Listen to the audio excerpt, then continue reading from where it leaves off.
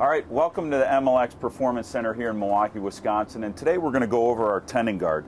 Uh, the tendon guard is a unique feature of the MLX skate, can actually be removed from the skate. So how we're going to do that, I'm going to show you it's on a three-point anchoring system, so we're going to take these off.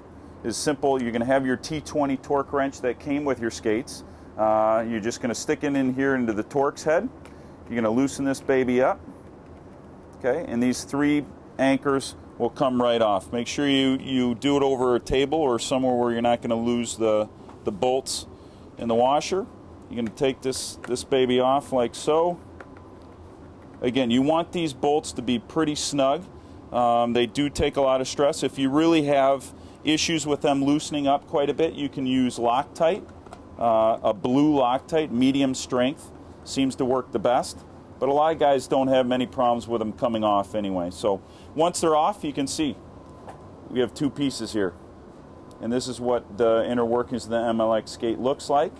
So if for some reason one did break, uh, or you want to buy another one and have another one put on, one wears out, you're going to just do the reverse process of what we just did.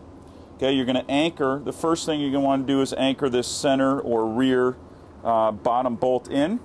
Okay, just get it, you don't need to tighten it all the way in, just get it a little bit snug, and you'll see there that you can go right into your next hole on the side. Again, just finger tight it in here. Okay, get it finger tight to get it started. Okay. Then take your T20 Torx head, Torx wrench or Torx driver. Okay, again, get that started. And then your last and remaining one Okay, and you tighten her up.